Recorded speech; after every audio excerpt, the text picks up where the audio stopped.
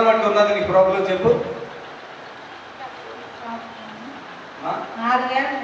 నాలుగు సంవత్సరాలు బట్టి నాలుగు సంవత్సరాల నుంచి నాలుగు సంవత్సరాలు బట్టి అమ్మా ఏం జరుగుతుంది నీకు?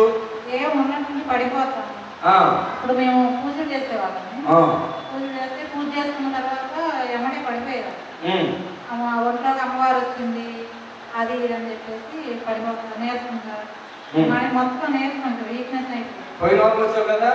ఎట్లా ఉన్నప్పుడు పోయిన వారం వచ్చిన కాడ నుంచి మళ్ళీ ఒక రోజు వచ్చింది. ఆ, మళ్ళీ రెండు రోజులు వచ్చింది తగ్గిపోయింది ఈ రోజు బాగానే. ఉంది. ఈరోజు బాగుంది. థ్యాంక్ యూ జీసస్ చప్పట్లు కొట్టండి ఒకసారి. అందరూ చప్పట్లు కొట్టండి చప్పట్లు కొట్టండి.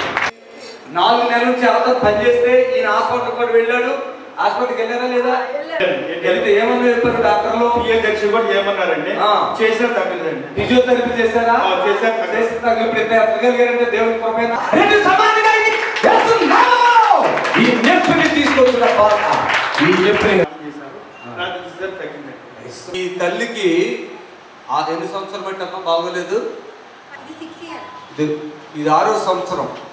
ఆరు సంవత్సరాల నుంచి క్యాన్సర్తో బాధపడ ఏం చేస్తావు? డాక్టర్లు వదిలేశారు మా అమ్మనే అన్నారు నన్ను అడిగారు. డాక్టర్లు వదిలేశారు మా అమ్మని?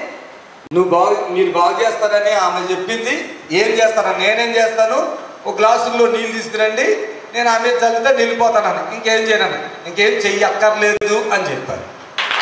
ఈమెను రాజుగారు చెప్పారంట వాళ్ళ ఊర్లో. ఏ ఊరు మీద అసలు? మాది రావులబాద్ దగ్గర కండవెల్లి అండి. పశ్చిమ గోదావరి జిల్లా అండి మాది. జిల్లా. కండవెల్లి అయితే నేను సాక్షి ఈమెది పూర్తిగా ఈ తలలో గడ్డ వచ్చింది అన్నమాట. గడ్డ వచ్చింది ఆపరేషన్కి మొత్తం ఇరవై లక్షలు అయితే అని చెప్పారంట. ఇరవై లక్షలు. నా దగ్గర అంత డబ్బు లేదని ఊరికి ఇక్కడ నుంచి హైదరాబాద్ నుంచి వెళ్ళిపోయింది వెళ్ళిపోయిన తర్వాత వాళ్ళ అన్నయ్య గారు ముప్పై సంవత్సరాల నుంచి బాధపడుతున్నారు. ఒక బాధతో శాతబడి శక్తులతో ఆయన రిలీఫ్ అయిపోయిన సందర్భాన్ని జ్ఞాపకం చేసి మళ్ళీ రెప్పించారు ఇక్కడికి.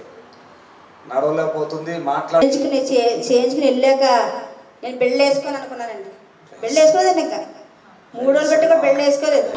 మీ భార్య గురించి మీరేమనుకున్నారు అసలు ఇట్లా ఇలాగ మంచిగా అయితే అనుకున్నారా డాక్టర్ గారు చెప్పింది అయితే. కష్టం అని చెప్పారు. నేను హైదరాబాద్లో కూడా మూడు హాస్పిటల్ ఉమ్. ఆంధ్రాలో కూడా మూడు హాస్పిటల్. బతకదని చెప్పారు. తర్వాత మా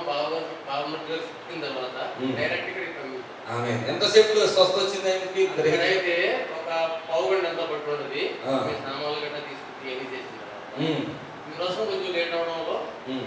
మీరు వచ్చిన తర్వాత రెండు నిమిషాలు.